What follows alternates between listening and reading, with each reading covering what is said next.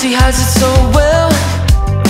I'm like a time bomb ticking, overthinking till I'm kicking myself. just